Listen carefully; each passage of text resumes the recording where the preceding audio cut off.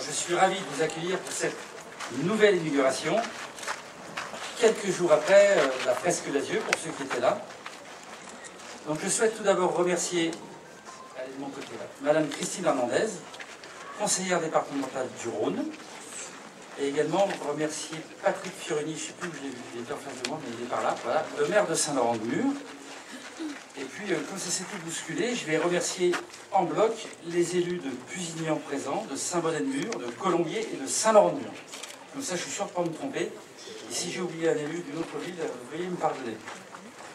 Merci également à mesdames et messieurs les élus du conseil municipal de Genasse, bien sûr, et aux présidents d'associations qui sont là ce soir. Je souhaite également saluer M. Philippe Grossette, président de la Fondation Marius Berlier, Monsieur Paul Piémontez, conseiller du président, et mademoiselle Monique Chapelle, vice-présidente. Votre présence à nos côtés est un symbole fort de l'histoire de ce lieu et je vous en remercie. Je tiens aussi à remercier les entreprises et les services communaux, et notamment le service des grands projets, qui ont permis la réhabilitation de la salle Marius Berlier. Merci notamment, alors je ne sais plus où elles sont du coup, mais à Escal Architecte, notre maître d'œuvre, représenté par Camille Roche et Pauline Godet. Elles sont par là, par là. Parce que s'il y a des questions, comme ça, vous pouvez, oui, je cite les noms, comme ça, moi je pourrais voir l'apéro tranquillement et c'est vous qui répondrez aux questions. Elles nous ont accompagnés avec euh, professionnalisme dans cette aventure. Enfin, merci à tous d'être là, et notamment les riverains, j'en ai repéré quelques-uns. Ce soir, nous inaugurons donc la salle Marius Berlier, la nouvelle salle Marius Berlier, rénovée et agrandie. C'est un peu la touche finale des investissements importants consentis par la municipalité depuis 2008 pour bâtir ce que l'on appelle l'espace Marius Berlier. Donc ces dernières années, nous avons réaménagé l'espace sportif de proximité attenant à la salle, les terrains de pétanque ont été réhabilités, tout comme les cours de tennis, les seuls de la commune en accès libre et gratuit. En 2013, nous y avons ajouté une aire de jeu pour enfants, vous étiez présent avec nous d'ailleurs, sur le thème de l'automobile pour faire plaisir aux plus petits. La réhabilitation de la salle Marius Berlier était donc la dernière pierre d'un espace de vie et d'animation ouvert à tous les jeunassiens, petits et grands. Cette salle municipale est aussi la dernière qui attendait sa remise à neuf. Après la salle Saint-André, dans le quartier d'Azieux, rénovée en 2012, Dieu que ça passe vite, et la salle Le Genet en Sautrebourg en 2018. Il ne manquait plus que la salle Marius Berlier et la boucle était bouclée. Les habitants du quartier de Ratavizet me diront sans doute que nous avons gardé la meilleure salle pour la fin peut-être. Ce dont je suis certain, c'est que la salle Marius Berlier a une histoire singulière à Genasse. Construite à la fin des années 80, je crois inaugurée en 1986, elle a la particularité d'être située en plein cœur de la zone industrielle mi-pleine, je le rappelle, la deuxième plus grande zone industrielle de France. Elle est aussi ancrée dans le quartier résidentiel de Ratavizet. Celui-ci est donc niché au sud-est de Genasse. Nous n'oublions pas ses habitants. Quelques réunions euh, sont là pour en témoigner. Et puis, il y a quelques années, nous avons par exemple demandé au Citral d'ajouter un arrêt de bus à Ratavizet sur la ligne 29 que nous avons créée. Cela permet aux habitants de rejoindre plus facilement la Zélie de Mézieux et ses connexions avec le tramway et les lignes 1E ou 26 sur l'ancienne Nationale 6 qui s'appelle la départementale 306 aujourd'hui. La Berlier tient son nom dans cet ancrage industriel historique. Elle est aussi le lieu de vie et d'animation du quartier et je crois que cela n'est pas prêt de changer. Car pour ce projet de réhabilitation, nous avons été particulièrement attentifs au respect de son histoire. Comme un symbole, nous avons d'ailleurs rénové intégralement son ancienne historique, celle de la maison de quartier Marius Berlier, que vous pouvez voir exposée juste derrière moi. Alors elle est juste exposée, mais Jean-Marc, je te rassure, elle sera installée très vite. Mais on a fait le forcing pour la voir ce soir et tu sais que ça n'a pas été facile. Très prisée par les associations, entreprises et particuliers, nous avons offert une cure de jouvence à la salle en résonance avec son environnement et celui des autres bâtiments et parcs municipaux. Les clôtures que vous apercevez tout autour sont d'ailleurs un peu notre marque de fabrique, pour ceux qui connaissent, sur le territoire communal. L'idée était aussi d'aligner la salle avec la rue de l'Avenir.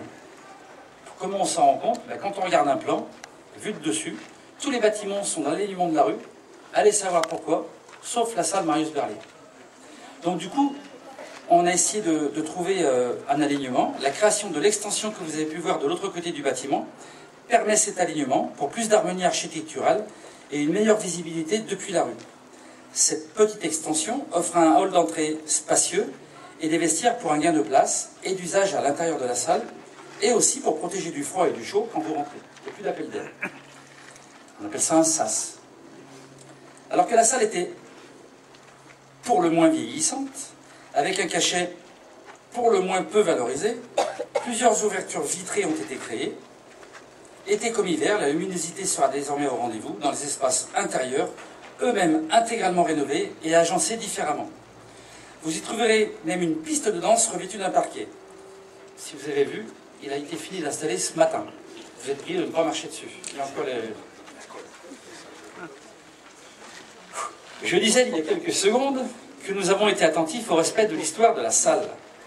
Nous avons donc souhaité y préserver le local de rangement à disposition de l'association d'intérêt local Ratabizet, l'AIL, dont je salue le président que j'ai cité tout à l'heure, Jean-Marc Souris. Je me suis permis de dire complice de longue date. Nous avons tenu notre engagement, et même plus, car je crois que le local est légèrement plus spacieux qu'auparavant, et l'AIL a toujours sa boîte aux lettres en front de rue. Nous avons également choisi avec soin les matériaux et les systèmes de climatisation et de chauffage. Climatisation qui n'existait pas, je tiens à le rappeler. En janvier comme en juillet, le confort thermique du bâtiment sera optimal avec des consommations d'énergie modérées. De son côté, la cuisine est équipée de matériel professionnel de qualité avec euh, un frigo, des plans de travail et de rangement de grande capacité ou encore une plonge flambant neuve et d'autres choses. Nous avons même pensé à créer une ouverture avec un passe-plat vers l'extérieur.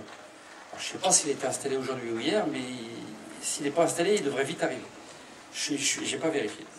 Et que dire, que dire justement des extérieurs? Malgré des abords vastes, ceux-ci étaient peu accueillants et minéralisés. Je crois que vous en rappelez tous. Désormais, on trouve notamment plusieurs espaces végétalisés où les plantations seront faites à l'automne. Vous vous en doutez, on n'allait pas le faire en plein mois d'août. Plusieurs zones de stationnement le long de la salle ont été préservées et côté est, une grande pergola surplombera l'espace où nous trouvons. Cela promet de beaux événements, je pense estivaux, puisque la pergola sera surtout pour l'été et le printemps. Je parlais à l'instant de la pergola. Vous l'avez noté par vous-même, si une grande partie de la structure est en place, celle-ci n'est pas encore totalement installée. Quelques travaux de finition sont d'ailleurs prévus dans les prochaines semaines. Quelques retouches de carrelage et de peinture seront faites.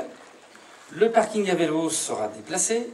Les marquages au sol de stationnement et du barbecue seront réalisés à l'extérieur. Les contrôles d'accès par badge seront installés, bien sûr.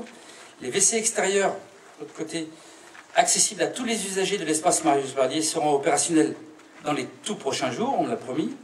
Et les derniers éléments de mobilier, dont l'armoire dans le local de la Yale, parce qu'il y a le local mais il n'y a encore pas l'armoire, euh, seront bientôt livrés. Il faut dire que le chantier a connu quelques aléas dans un contexte où les pénuries de matériaux et retards de livraison nous ont fortement pénalisés. Je dois dire aussi que quelques entrepreneurs indélicats ont retardé l'avancement du projet, ce qui a mis en retard des, entrepreneurs délicats mais qui ont pris du retard à cause des autres. Donc merci à ceux qui ont joué le jeu et je crois qu'ils sont là ce soir. Dans les prochains mois, les espaces extérieurs seront aussi garnis de tables et de chaises pour faciliter le repas en plein air avec même un conteneur qui permettra de stocker les tables et les chaises et vous les sortez quand vous avez besoin. Donc c'est fini, vous pouvez les ranger. Car non, chers amateurs de pétanque, s'il y en a dans la salle ou dans, l'espace aujourd'hui, cet espace extérieur qui est, la foi, fort sympathique, euh, n'est pas un terrain pour pratiquer la pétanque. Voilà, la pétanque, vous irez de l'autre côté. Et nous irons même au-delà de la salle, puisque l'aire de jeu pour enfants, que nous avons inauguré en 2012-2013, je ne sais plus, sera prochainement enrichi d'un toboggan. Christiane Brun, la première adjointe qui nous a quittés il y a maintenant un mois, y tenait beaucoup, je l'appelais la reine des toboggans. C'est avec beaucoup d'émotion que je pense à elle ce soir, comme nous tous. La promesse sera tenue, Christiane, les enfants de jeunesse pourront aussi glisser à Ratabize. Vous l'avez compris, nous faisons au mieux pour terminer d'embellir la salle et ses espaces attenants. Pour autant, la salle est prête à vous accueillir dès ce samedi. Comme de coutume, pour les, les, habitués, vous me connaissez, je vais aussi vous parler de quoi? D'un peu d'argent. Je vous ai dit que vous ne changerez pas. Donc la réhabilitation complète de la salle Marius Verlier est un investissement important, je dirais même très important pour la municipalité, dont nous parlions d'ailleurs dans notre plan de mandat 2020-2026. Donc encore une fois, le plan de mandat, et on fait ce qu'on a dit dans le plan de mandat. Au total, le projet représente un coût de près de 785 000 euros TTC. C'est un chiffre supérieur à ceux qui lisent le programme qui était annoncé dans le programme.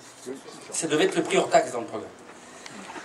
Donc 786 000 euros TTC pour la ville. Alors c'est pas que la salle, c'est l'ensemble des choses. hein. Sans compter les derniers aménagements réalisés en extérieur. Je peux dire que ce montant est plus élevé que si nous avions choisi d'écrouler le bâtiment et de le reconstruire, comme certains sur Facebook nous le conseillent. Mais à Genasse, nous sommes engagés dans la valorisation de notre patrimoine existant, comme on l'a prouvé depuis 2008, plutôt que de la déconstruction-reconstruction. C'est notre démarche de développement durable. Nous avons aussi reçu le soutien, de nouveau, je dirais presque comme chaque année, du conseil départemental du Rhône, dont je remercie le président Christophe Guillotot, qui est représenté par Christine Hernandez ce soir. Le département a généreusement soutenu le projet à hauteur de 50 000 euros. Et puisque je vous parle d'argent, je n'oublie pas de dire que les tarifs de location de cette salle ont légèrement évolué. Pas d'inquiétude pour les jeunassiens, la hausse reste très modeste au regard de la modernité des équipements désormais proposés. Les horaires d'utilisation de la salle, quant à eux, changeront. Non, je plaisante, jean Ne change pas et à 23h, tout doit être éteint pour respecter le confort des riverains. Je suis un peu taquin. hein. Mais assez parlé d'argent et de tarification et d'horaires d'ouverture et de fermeture. Je vais maintenant laisser la parole à Christine Hernandez, qui représente Christophe Guillaume pour le département et qui est aussi mon binôme au conseil départemental. mesdames, messieurs, chers jeunassiens et jeunassiennes. C'est avec un grand plaisir que je suis parmi vous aujourd'hui en ma qualité de représentante de M. Christophe Guillotot, président du conseil départemental du Rhône, et aussi en tant que conseillère départementale du canton de Genasse, en binôme avec Daniel. Monsieur le maire, cher Daniel, c'est pour moi une joie de venir inaugurer dans, votre, dans ta commune la salle Marius Berrier, à présent rénovée. Cette actualité atteste, une fois encore, de la vitalité incontestable de la commune de Genasse, de notre canton et au-delà de l'ensemble du territoire rhodanien. Cela nous permet également de saisir quels sont les besoins et les attentes des Genassiens et Genassiennes en matière d'équipement, d'aménagement de leur cadre de vie. Je me réjouis également de partager ce moment avec vous et de saluer votre engagement dans un projet qui faisait partie du programme d'équipement ambitieux que tu as porté avec ton conseil municipal. Je ne vais pas énumérer toutes les rénovations qui ont été faites tant à l'intérieur qu'à l'extérieur de cette salle Marie Berrier, mais je tiens à saluer le fait qu'un soin particulier a été apporté en matière de qualité des matériaux qui sont éco-sourcés, ainsi que du point de vue de l'éclairage et du confort thermique et phonique, qui associe efficacité énergétique du bâtiment et bien-être des riverains. Le département du Rhône, qui est un partenaire fidèle à la volonté constante d'ouverture et de proximité d'engagement et d'action au quotidien, accompagne tous les Rhodaniens. En outre, il agit au service de ses communes et communautés de communes, par exemple en matière de solidarité territoriale et de développement équilibré du, du territoire, en soutenant la réalisation de projets locaux tels que celui qui nous réunit à présent. En l'occurrence, c'est une subvention départementale d'un montant de 50 000 euros qui a été allouée à Genasse pour que s'accomplisse la rénovation de qualité de cette salle, qui est à présent à la disposition de vous tous.